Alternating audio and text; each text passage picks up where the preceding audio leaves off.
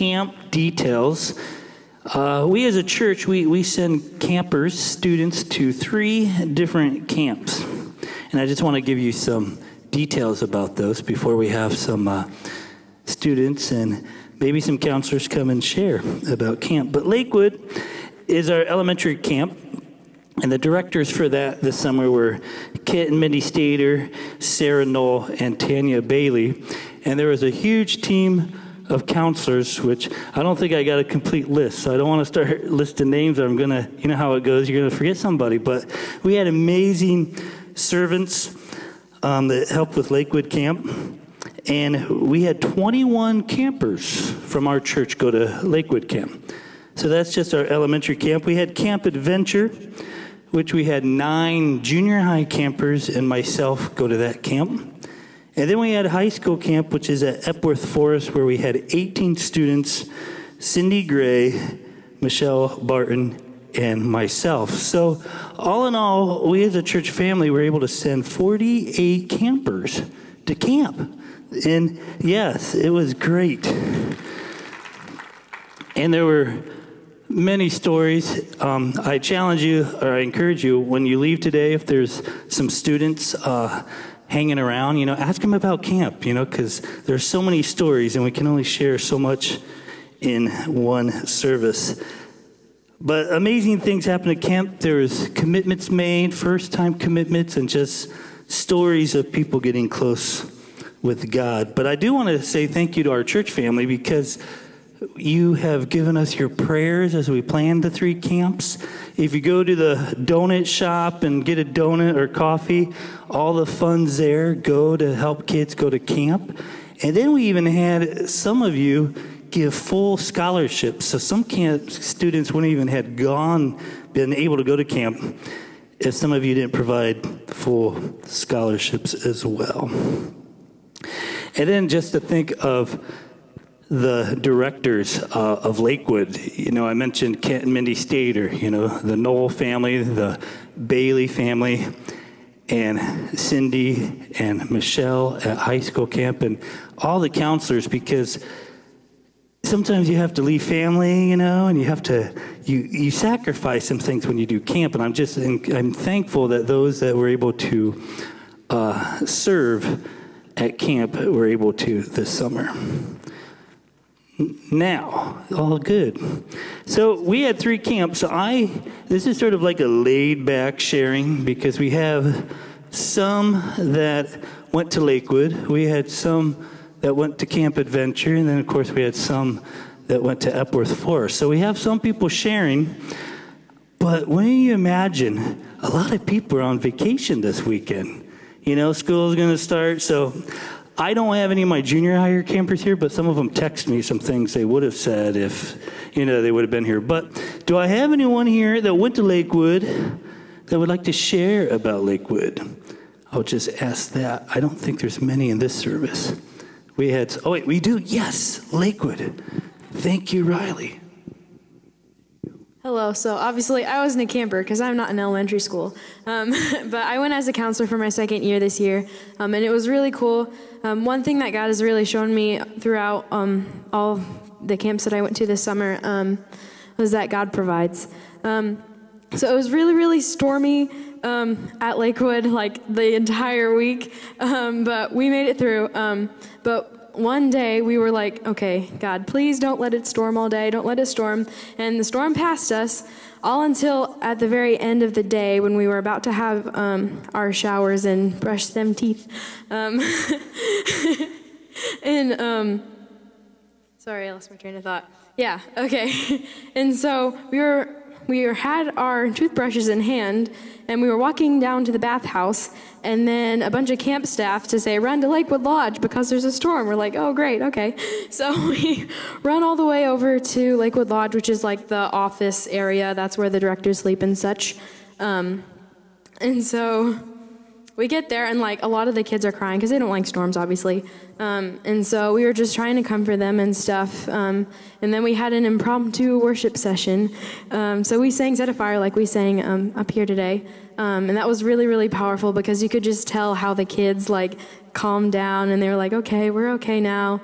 Um, and it was really cool to see the little kids like lean on god to get through that even though it was kind of hard and so that was really powerful for me.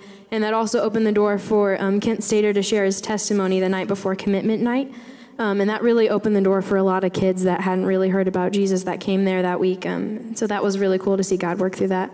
Um, and I'm going to share about Epworth too, since I'm already up here. okay, so I went to Lakewood first, and then Epworth was a couple weeks ago. Um, so this is the high school camp. Um, and so the week before, well, prior to um, camp, I was really praying, okay, God, show me yourself. I want to feel you at camp. I want to be able to grow deeper after I'm out of camp and not just stay the same. Um, and so I was really, really praying about that before camp. And so I got to camp and like, okay, here I am, God, show me, like I'm ready. um, and then Monday passes and like I feel the I feel the presence of God, but it's not as intense as like I was really, really hoping. Um, and so I keep praying, I keep praying. I'm like, okay, God, where are you? Come on, it's about time. um, but Wednesday night, we had a silent night kind of deal. Um, so basically, they had like um, scripture verses on the slides, and we just sat there and read them. And I get scared when like they have like slides up there because I'm a slow reader, so I like read it really fast, and I'm like, okay, gotta gotta read it before it goes away. And but it was there for like two minutes straight. I was like, well, I got a lot of time, but um, it stayed there for a long time, so we could like really really absorb it, and that was really really powerful for me.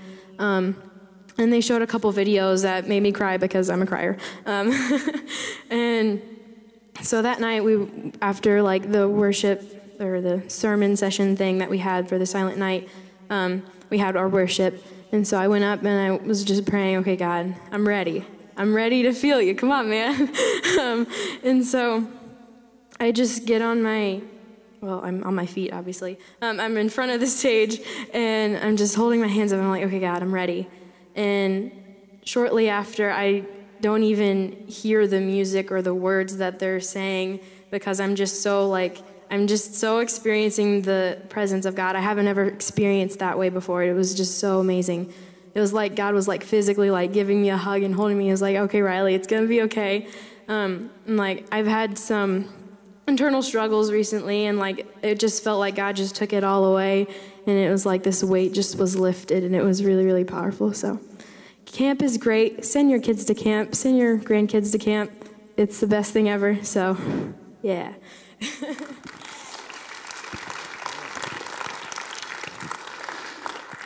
Any others, Lakewood or not? I did want to read a few texts I got from the uh, junior highers.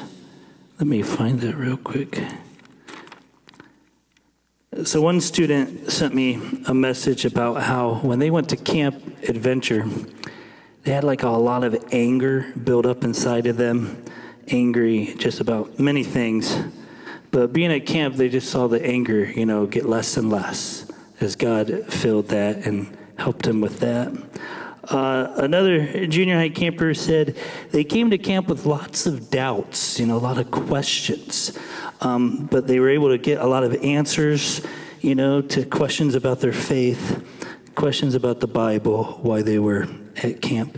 And one student was just so thankful that someone in our church family was able to give like an entire scholarship, so this student would not have been able to attend camp if that person would have uh, gave like they did. So I was thankful for some of the junior highers sending us some messages about camp. But but we can turn to high school camp if okay. Hey, there you go.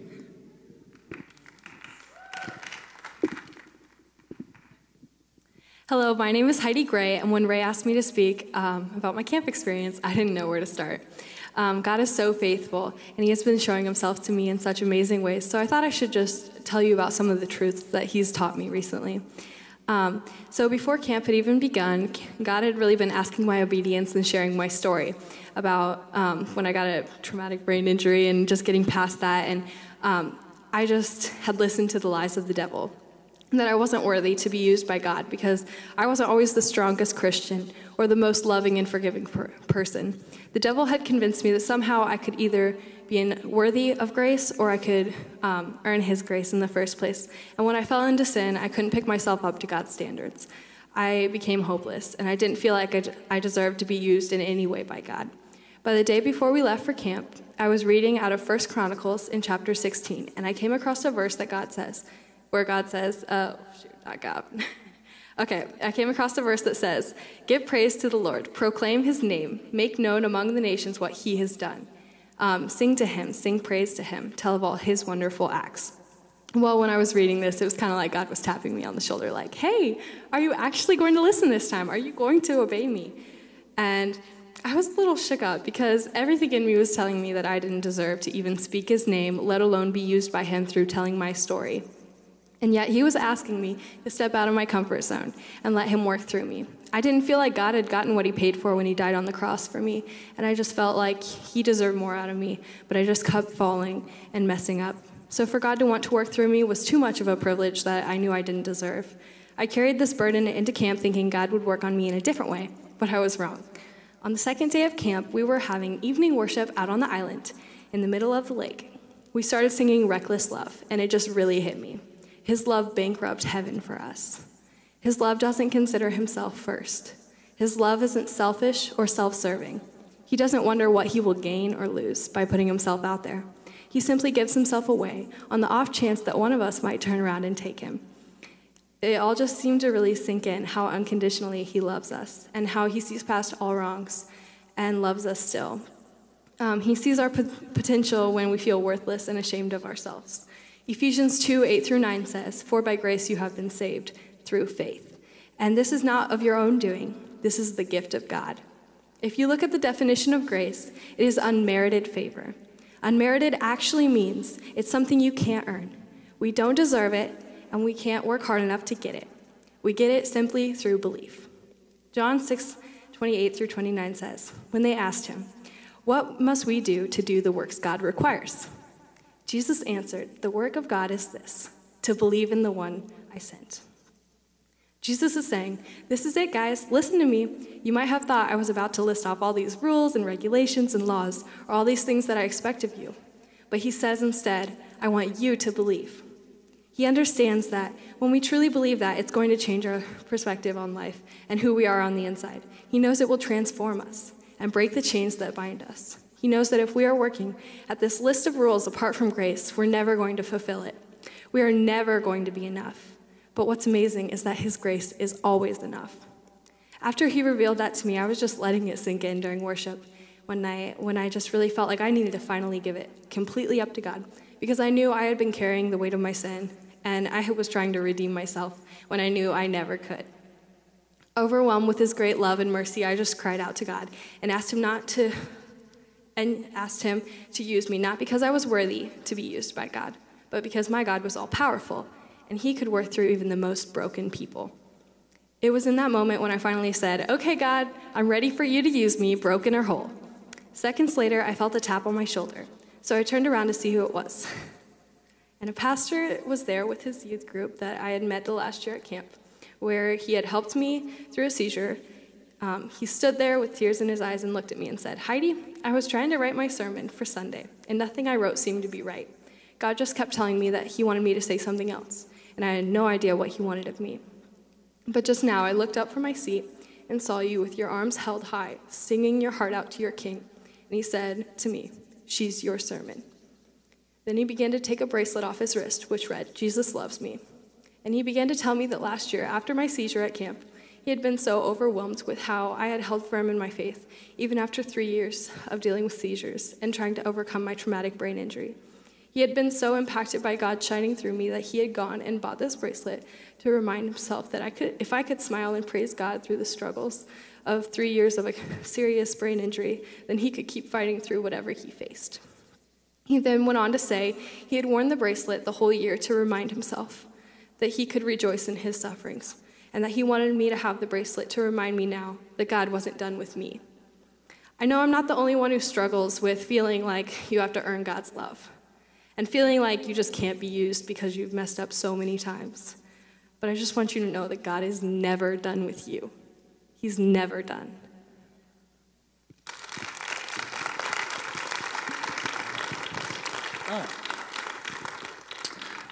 Anyone else like to share?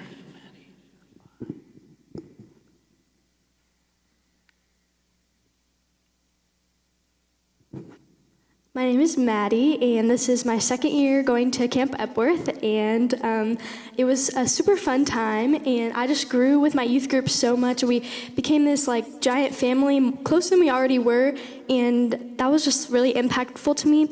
And is it okay if I just share about one of the sermons? I okay. Um, so I one of the sermons was we were on the island again that night, and we the the pastor or the speaker whatever he was like talking about his daughter, and he said that she had this like disorder where she would like throw up a lot and whatever and he said that like every time that she did she would like call out to her dad be like daddy like come help me or whatever like cl- help me clean up and he was like he said that he was never ashamed of her mess like he was never mad at her for making a mess and he said that's how our heavenly father is he doesn't like he sees our mess and he he doesn't like look at us with like oh well you're too too messy for me. I can't clean you up. Like he takes our mess and like wraps up, wraps us up in his arms and is like it's okay. I'm gonna help clean you up. So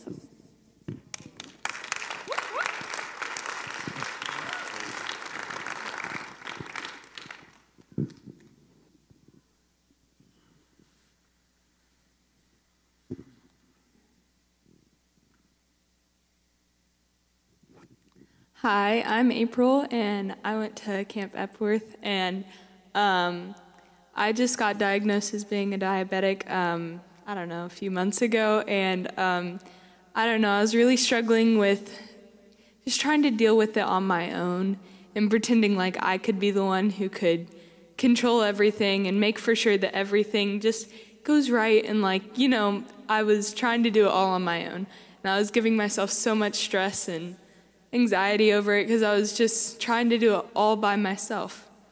But when um, it was the third night, the silent sermon that Riley was talking about, and um, afterwards we had like one last song, and um, I just gave it all to God. I was like, I'm done trying to control things because you're the only person who can actually help me and who can truly understand how I'm feeling.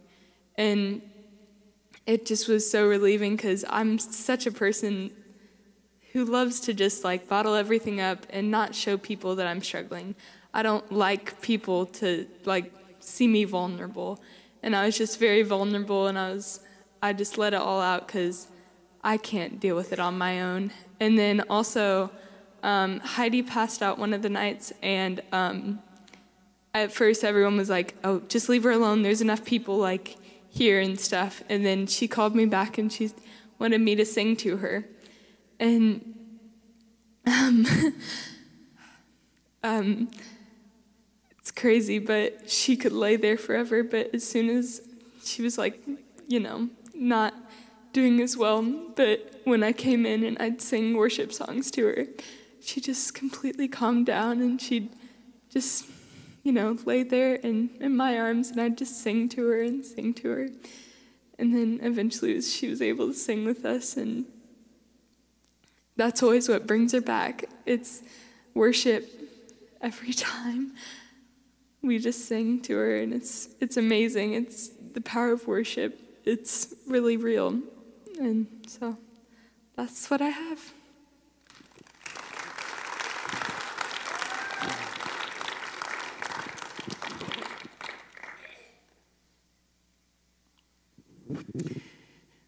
Okay, well, I wasn't a student, but I was a counselor. Actually, I was. and um, Ricky was the uh, speaker that week, and he was from Manhattan, and he was really good. But there was one uh, service that I um, just jotted down some notes because I thought it was so powerful. No matter what, there will always be an enemy, a lion, some opposition, something to obstruct the way for you. If you are seeking after God, this will be true. There will always be a reward when we fight against that opposition. You're going to experience some setbacks, some failures, and it's okay. You decide if you will go after the lion, and he will give you what you need to overcome it. I just thought that was really good. Um, the speakers, the worship, everything was wonderful at, at um, the camp. And um, boy, if you haven't sent your kids, please consider it for next year. It's just powerful how the Holy Spirit just shows up, and those kids are open to listen. It's, it is really neat. There is one thing that I want to show you this um, like backpack thing. Um, they had missionaries come and speak um, every day. And this one was a gentleman who spoke for Sari Bari. This is the company that um, in, um, is in Thailand. It's actually in a lot of countries. But um, this gentleman came up and he said, he goes, Well, I used to be sitting out there with you. I was a youth leader and I had a bunch of kids. And we came one time, and there was a missionary that spoke about um, uh, being a, a, person who helps out with trafficking. And um, he said, I would never have thought that God was going to use me to, to help out with this. And um, God laid it on his heart. He became an undercover agent in Thailand to rescue trafficking girls. And he said, You know, it's amazing how God can work in our lives. And I thought, you know, how way leads to way, if we are open and allow Him to lead and guide us, He can. And so he described what it was like to go into a brothel in Thailand. He said, You went in there, and then they would bring the girl to you. And he said, Well, what's your name? And she couldn't give her her name. She goes, I can only tell you my number. I'm number nine. And um, he, he, said, Well, you know, where do you come from? Well, she wasn't able to tell that, but she was able to say, I'm from the country. And why are you here? Well, my, my family needs money, and my daddy brought me in. So you hear a lot of this. And he said, It's just heartbreaking. He said, But what we do is we offer them like education so that they can come out of it. And so um, this gal who made this one, her name is Calpona, and um, she is now on her own sewing and making bags and all sorts of things to uh, support her family instead of being in the um, brothel, is what they call them. So what they do is they're not they do not call themselves Christian because Thailand would not allow them to be in the country, and um, so it's a, a company that's all Christian, but they can't say that so that they can go in and start rescuing girls. And they give them education so that they can actually sew or do whatever they can to make money to help out the family. But what I thought was really neat was they offered the children a way to serve. You know, they, they gave them missionaries every day that they could go and um, talk to. I mean, that this missionary would come and talk, and they could go and listen. And I thought it was really important because it's important that we understand that it's all about serving, you know, helping out, helping out others, you know. So um, camp is just an incredible time for kids and for counselors and cooks. and Michelle, I know she's here. It's, it is. It's, it's a wonderful time that the Holy Spirit can just come and, and minister to the people, minister to kids. So next year, if you know of anybody, get it, encourage them to go. It would be so impactful. And thank you, Ray, too, for getting us there.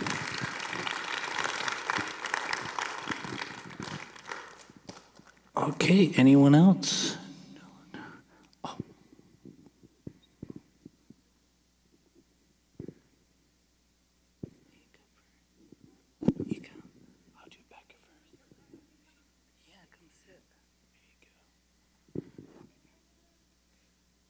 Hi, um, I'm I'm sorry if this is bad. I'm kind of like making it up as I go along. I'm not actually making it up, but this did happen, so. Okay.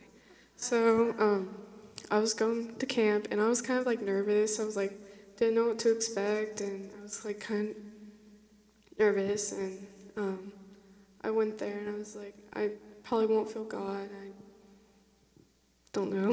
um, but on the silent night where we they had slides up on the screen, I was I could really feel God and um, when it's like silent, you can only hear thoughts, you know. And it's just, I'm constantly like thinking like I'm not good enough or like stuff like that. And just I felt really overwhelmed. And then in the midst of that, like I felt God like say He loves me, and I've never felt God like like that. And I've always heard like stories of like how people felt God, and I'm like, that's never happened to me. Like why? Why doesn't God speak to me like He speaks to other people? And when I felt God, it was just really powerful. So.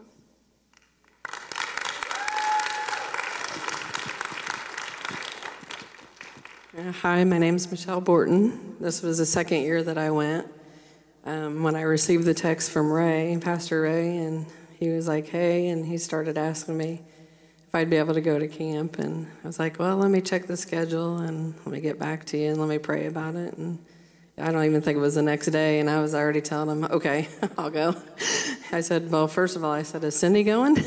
he said, yes. And I said, okay, I thought about it more, and I thought, okay, well, if somebody else was meant to be, then okay.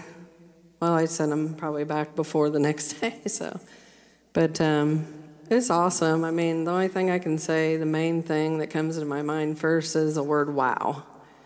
Just to see these young men and women, I'd say. I mean, young campers, teens, um, but their love for God and Jesus, and just watching them worship and praise, and and just watching things happen, just like they're saying. I mean, the Holy Spirit was in that room. I mean, we saw it in many different ways. Um, there were a couple instances that um, one morning for breakfast. Um, we usually would sit at the table, but we'd try to interact with other campers and such. But I saw this older gentleman sitting at the other table by himself, and I felt really bad at first. And I thought, why is he sitting there by himself?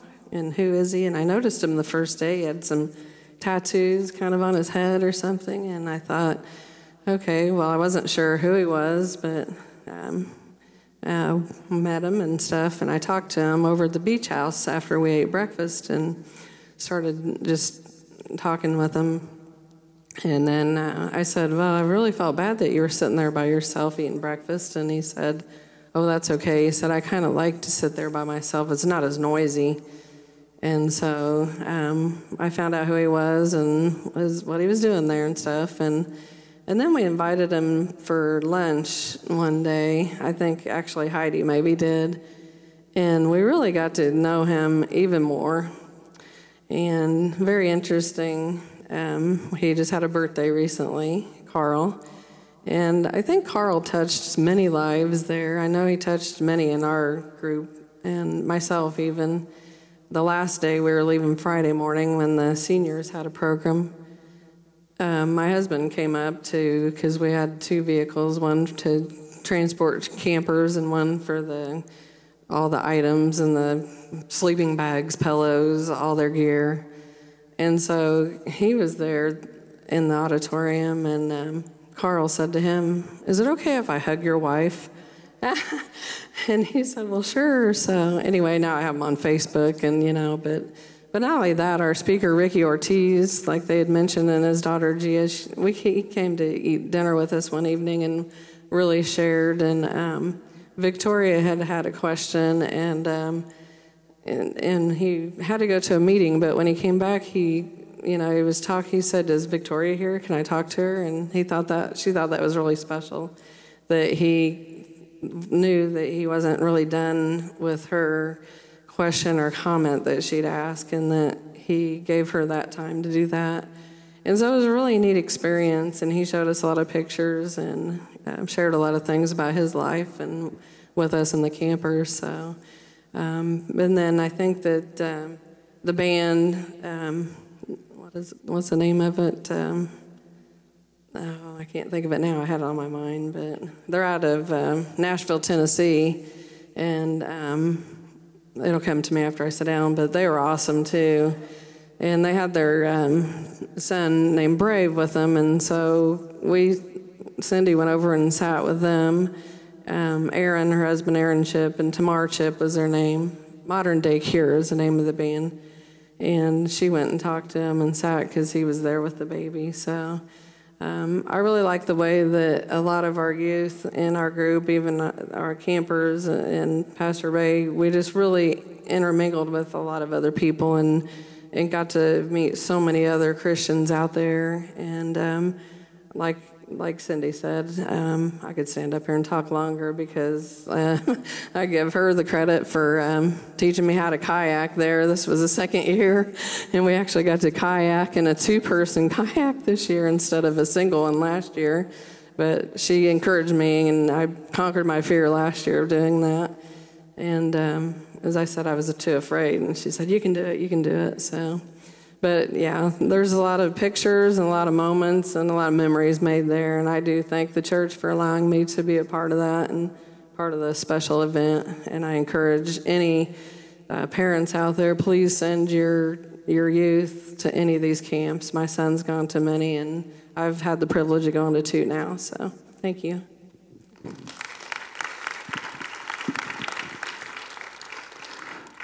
We'd like to share with you, uh, Riley actually put this slideshow together. It shows uh, all three camps, so if you want to watch that with us, and then we'll close with a final song today.